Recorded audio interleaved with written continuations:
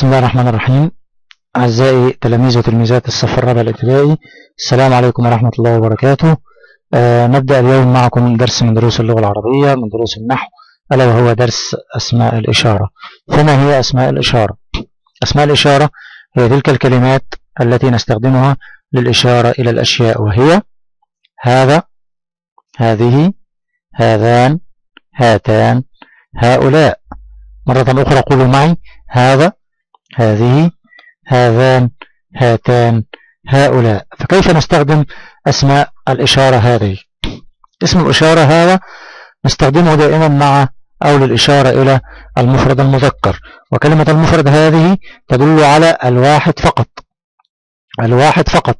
فلا تدل على الاثنين أو أكثر من الاثنين. فمثلا كلمة قلم. قلم واحد.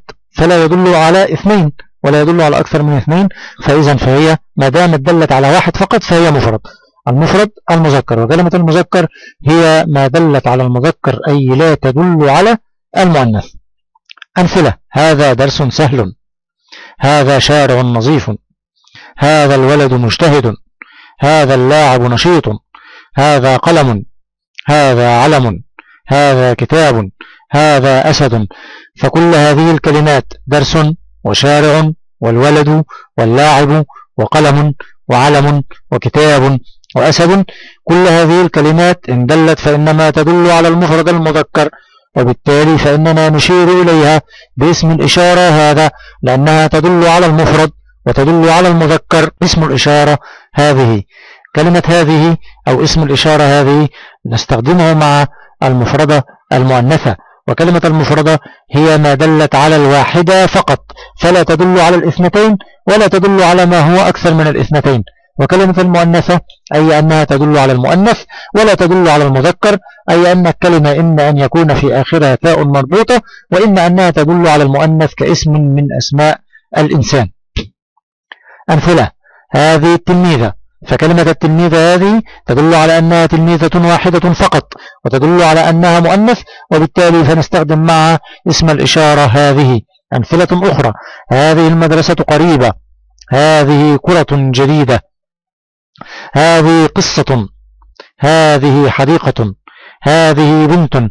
فهذه الكلمات التلميذة المدرسة كرة قصة حديقة بنت كل هذه الكلمات تدل على أنها مفرد وتدل على أنها مؤنث وبالتالي فلا بد أن نشير إليها باسم الإشارة هذه. اسم الإشارة هذان. كيف نستخدم أو متى نستخدم اسم الإشارة هذان؟ أنه يستخدم مع المثنى المذكر. والمثنى هو ما دل على اثنين. لا يدل على واحد فقط ولا يدل على أكثر من اثنين وإنما يدل على اثنين فقط. ويدل على المذكر وقلنا أن المذكر هو ما دل على المذكر ولا يدل على المثنى على المؤنث. أمثلة هذان الولدان مجتهدان هذان اللاعبان نشيطان هذان درسان سهلان هذان شارعان نظيفان هذان قلمان هذان علمان هذان كتابان هذان أسدان. فكل هذه الكلمات أيها التلاميذ الأحباب كلمة الولدان وكلمة اللاعبان وكلمة درسان وكلمة شارعان وكلمة قلمان وعلمان وكتابان وأسدان. إن دلت فإنما تدل على المثنى وإن دلت أيضا فإنما تدل على المذكر. إذا فهي مثنى مذكر فلا بد أن نشير إليها باسم الإشارة هذان. إذا فاسم الإشارة هذان أيها الأحباب. ممتاز إني أسمعك. لا يستخدم إلا مع الكلمة التي تدل على المثنى المذكر. اسم الإشارة هاتان. نلاحظ أن كلمة هاتان هي الكلمة الوحيدة في أسماء الإشارة التي يأتي فيها ألف بعد الهاء. هاتان. أما كلمة هذان وكلمة هذه وكلمة هذا وهؤلاء فليس هناك ألف بعد لا هذه ملحوظة جيدة. لابد أن ننتبه إليها أيها الأحباب. كلمة هاتان تستخدم للإشارة إلى المثنى المؤنث. واتفقنا معا أيها الأحباب أن كلمة المثنى أن كلمة المثنى تدل على اثنين أو اثنتين. فهي لا تدل على الواحد ولا تدل على أكثر من, من اثنين. إنما هي تدل على اثنين فقط. وكلمة المؤنث أي أن هذه الكلمة ليست مذكر ولا تدل على المذكر.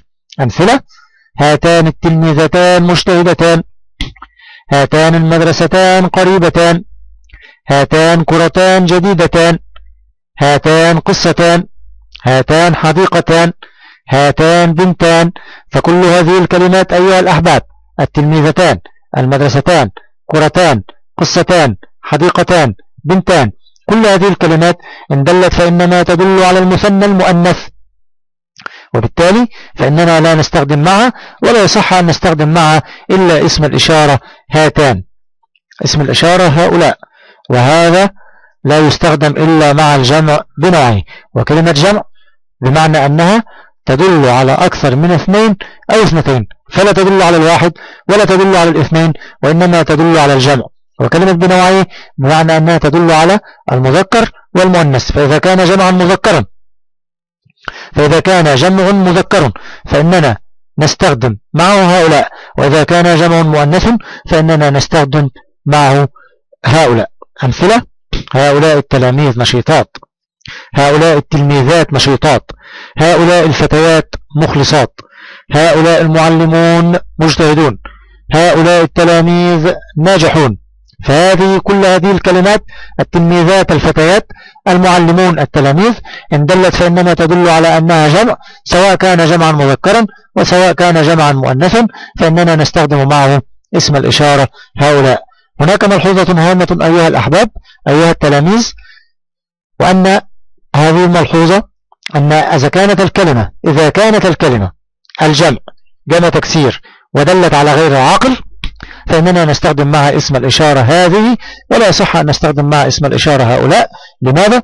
لأن كلمة هؤلاء تدل على الجمع العاقل سواء كان مذكر أم مؤنث. أما كلمة هذه اسم الإشارة هذه فيستخدم مع الجمع الغير العاقل. مثلا كلمة الفصول.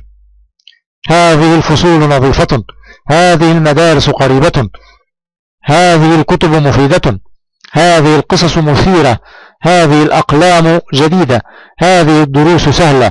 كلمة الفصول كلمة المدارس كلمة الكتب القصص الأقلام الدروس كل هذه المدارس تدل كل هذه الكلمات تدل على أن هذه الكلمات جمع غير عاقل. فكلمة الفصول ليس لها عقل. لا تفكر. كلمة المدارس كلمة الكتب ليست لها عقل. لا تفكر وبالتالي فإننا نستخدم معها اسم الإشارة هذه ولا يصح أن نستخدم معها اسم الإشارة هؤلاء لأن اسم الإشارة هؤلاء يستخدم مع الجمع العاقل بنوعيه خلاصة الدرس أيها التلاميذ أسماء الإشارة إما أن تكون هذا ممتاز وهذا تستخدم للمفرد المذكر هذا ولد إما أن تكون هذه وهذه تستخدم للمفرد المؤنثة هذه بنت ممتاز. هذان وتستخدم للمثنى المذكر هذان ولدان. هاتان وتستخدم للمثنى المؤنث هاتان بنتان. هؤلاء وتستخدم للجمع بنوعيه هؤلاء معلمات وهؤلاء معلمون سواء كان جمعا مذكرا أو جمعا مؤنثا. أما الجمع غير العاقل فإننا نستخدم معه اسم الإشارة هذه لأن هؤلاء لا تصلح إلا مع الجمع العاقل. أيها الأحباب كيف يأتي السؤال في الاختبارات في هذا الدرس؟ قد يطلب مني السؤال أن أكمل باسم إشارة مناسب مما بين القوسين. نقط تلميذتان متفوقتان. هذا أم هاتان أم هذان؟ إذا نظرنا إلى كلمة تلميذتان. ممتاز ممتاز. نجد أنها إني أسمعك. ممتاز. نجد أنها تدل على المثنى المؤنث. المثنى اثنين تلميذتان. ليست تلميذة واحدة وليست أكثر من اثنتين إذا فهما تلميذتان فقط.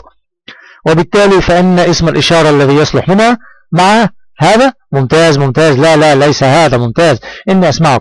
اسم الإشارة الذي يصلح مع هاتان. ممتاز ممتاز. إني أسمعك. جملة أخرى. نقط المتسابق نشيط. هذه أم هذان أم هذا؟ ننظر إلى كلمة المتسابق. نجد أنه يدل على ممتاز المفرد المذكر وبالتالي فإن اسم الإشارة الذي يجب أن يستخدم معه هو كلمة إيه؟ هذا. الجملة التالية الدرسان سهلان. نقط الدرسان سهلان. هذان أم هؤلاء؟ هاتان. هنا إذا نظرنا إلى كلمة الدرسان نجد أنها تدل على المثنى المذكر. ممتاز المثنى المذكر. وبالتالي فإن اسم الإشارة الذي يصلح معها نعم ممتاز ممتاز. إني أسمعك. هذان هذان الدرسان سهلان. جملة أخرى. نقط المعلمون مخلصون. إذا نظرنا إلى كلمة المعلمون ممتاز جمع مذكر عاقل. وبالتالي فإننا نستخدم مع اسم الإشارة. ممتاز ممتاز. هؤلاء هؤلاء. إلى هنا أيها الأحباب نأتي إلى نهاية درسنا اليوم. أيها الأحباب أيها, تلميذ أيها الأحباب تلاميذ الصف الرابع مع نفهم نتعلم ببساطة ووضوح والسلام عليكم ورحمة الله وبركاته.